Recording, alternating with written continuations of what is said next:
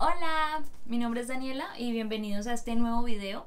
El día de hoy les voy a comentar un poco acerca de cómo hice yo para elegir los programas y las universidades a las cuales apliqué con la beca.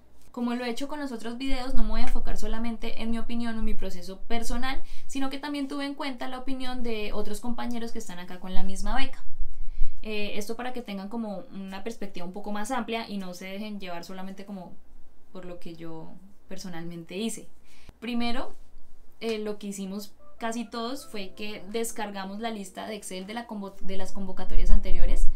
Eh, no sé si han visto, ya sea por la página de la Embajada de Corea en sus países o por la página de Starry in Korea, si se meten a las convocatorias de años anteriores van a poder descargar ciertos documentos. Entre ellos está una lista súper grande y completa de Excel que tiene eh, el nombre de todas las universidades que están pues que están disponibles con la beca y los programas de estas universidades, los programas que ellas están ofreciendo con la beca. En mi caso, eh, yo quería estudiar algo relacionado con negocios y también que tuviera un poco de perspectiva como internacional. Lo que hice fue irme por cada pestañita de cada universidad buscando qué programas se parecían a eso que yo quería. Después de sacar como esa lista de universidades que ofrecían programas que me llamaban la atención, me fui a la página, a sus pues a la página web de cada una de esas universidades e investigué. Muchas veces la información en la página web de la universidad en versión en inglés no está tan completa como lo está en la versión en coreano. Por lo que yo les aconsejaría desde que si no encuentran suficiente información en la página en inglés, se vayan a la página de coreano y pues con ayuda de Google Traductor eh, traten de encontrar la información que necesitan. Si no, encuentran, si no encuentran la información completa, lo que pueden hacer es enviarle correo a las universidades eh, algunas de ellas les van a responder, otras no, pero pues eh, sí es posible recolectar información de esta manera. Después de eso, lo que hice fue que miré el ranking internacional, miré que por lo menos las universidades que había como preseleccionado estuvieran en el top 1000 de las, de las mejores universidades del mundo. Después de eso me fui al ranking nacional en Corea y miré como el top 20, top sí, top 20, ya que como mi, como mi carrera estaba en muchas universidades, pues yo tenía de dónde, mucho de dónde elegir, entonces como que me podía dar el privilegio de ser más selectiva.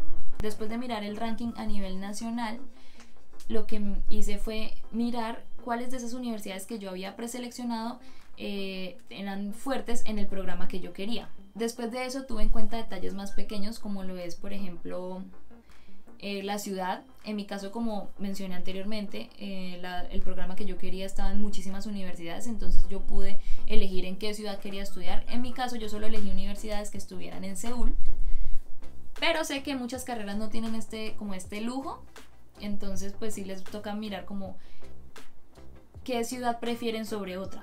Eh, también miré cosas como, por ejemplo, qué universidades daban beneficios extra a los estudiantes que vinieran con la beca KGSP. Algunas universidades, por ejemplo, dan eh, una reducción del valor del dormitorio, otras universidades incluso dan como un poco más de dinero mensual o así, no son muchas, pero sé que hay algunas.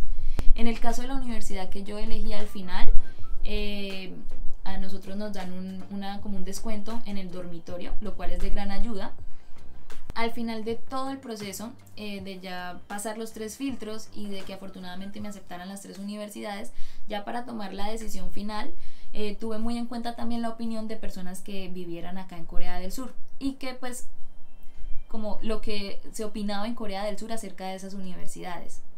Probablemente ustedes han visto que en Facebook hay unos grupos dedicados a, a, los, a las personas que quieran aplicar a esta beca o personas que ya se han ganado esta beca para ayudarse mutuamente.